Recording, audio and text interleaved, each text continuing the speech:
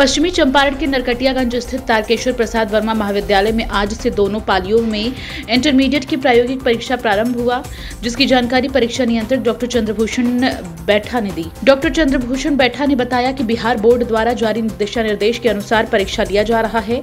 आज बायोलॉजी और भूगोल की प्रायोगिक परीक्षा संपन्न हुई। डॉक्टर चंद्रभूषण बैठा ने बताया कि छात्रों की सहूलियत के लिए रोल नंबर के अनुसार परीक्षा ली जा रही है, जिससे छात्रों को परेशानी न हो।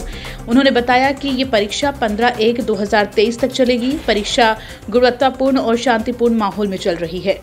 समिति द्वारा आयोजित इंटरमीडिएट प्रायोगिक परीक्षा टीपी वर्मा कॉलेज में आज 10 एक 2023 से ली जा रही है।